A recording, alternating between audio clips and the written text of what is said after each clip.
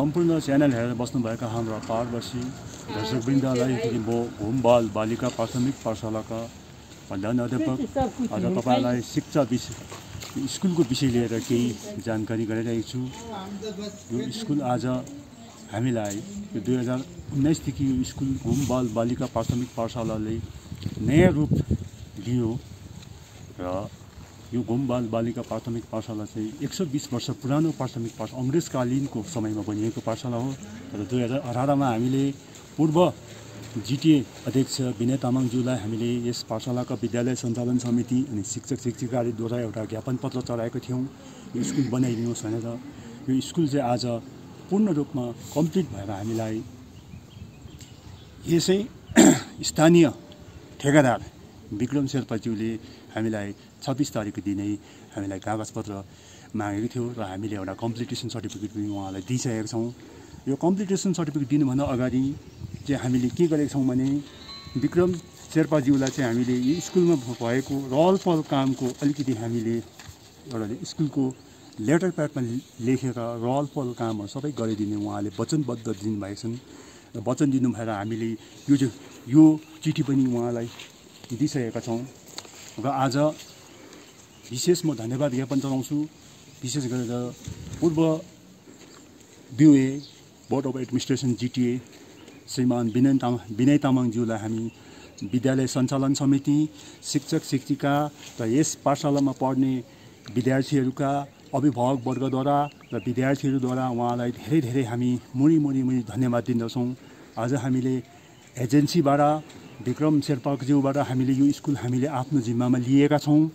तर अब यो स्कुलको एउटा के कुरो छ भने यसको अफिसियल्ली एउटा उद्घाटनको कुरो पनि छ र अफिसियली उद्घाटन गर्नको निम्ति हाम्रा एजुकेसन शिक्षा विभाग लुइस जुब्ली इन्जिनियरिङ डिपार्टमेन्टले चाहिँ हामीलाई पनि पूर्ण सहयोग गरिदिनुहुन्छ भन्ने हामी आशा राख्दछौँ।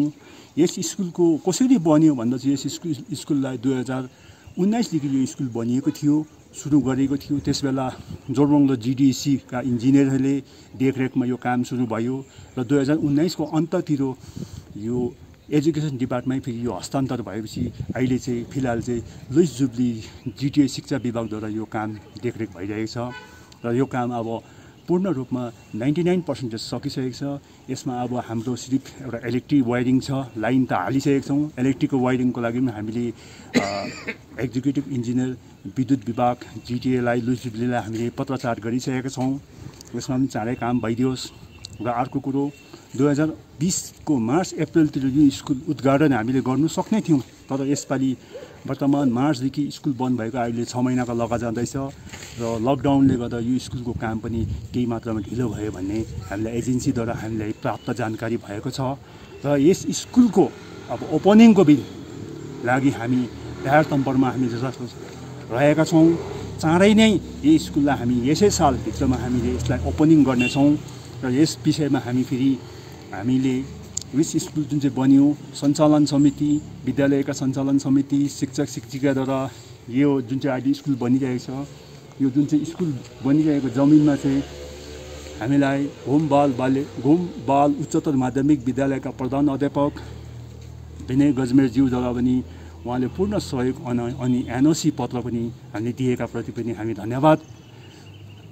उहाँलाई पनि दिँदछौँ र यसरी वर्तमान जिटिए अध्यक्ष अनित थापाज्यूलाई पनि हामी स्कुल सञ्चालन समिति विद्यालय सञ्चालन समितिद्वारा धेरै धेरै धन्यवाद दिँदै हामी यो पाठशालाको उद्घाटन उद्घाटन समारोहमा उहाँहरूलाई हामी निम्तो दिनेछौँ। च्यानलद्वारा जति पनि जति पनि च्यानलहरू छन् पाहाडका च्यानलहरू दार्जिलिङ च्यानल हिमालय च्यानल जति पनि छन् डिएसटिभी सबै सबैलाई हामी यो स्कुलको उद्घाटनको दिन हामी उहाँहरूलाई पनि हामी अगुवाई हामी निम्तो दिनेछौँ र यस पाठशाला बनेकोमा हामी शिक्षक शिक्षिका विद्यालय सम् सञ्चालन समिति साह्रै खुसी भएका छौँ र उहाँहरूलाई यो स्कुलको अब फिनिसिङ काम मात्रै रहेको छ। यो फिनिसिङ काम पनि झट्ट हामी सक्नेछौँ र हाम्रा ठेकेदार हाम्रा स्थानीय ठेकेदार विक्रम शेर्पाज्यूलाई पनि यस सञ्चालन समितिद्वारा शिक्षक शिक्षिकाद्वारा यो काम एकदमै राम्रो असल गरिदिनु भएको प्रति हामीले उहाँलाई पनि हामी मुरी मुरी धन्यवाद दिँदै अब यो स्कुलको हामी उद्घाटनको हामी तयार तमरमा लाग्नेछौँ भने आजलाई यो हाम्रो सानो स्कुलको प्रेस भेला हामी यतिमै समाप्त गर्दछौँ। धन्यवाद।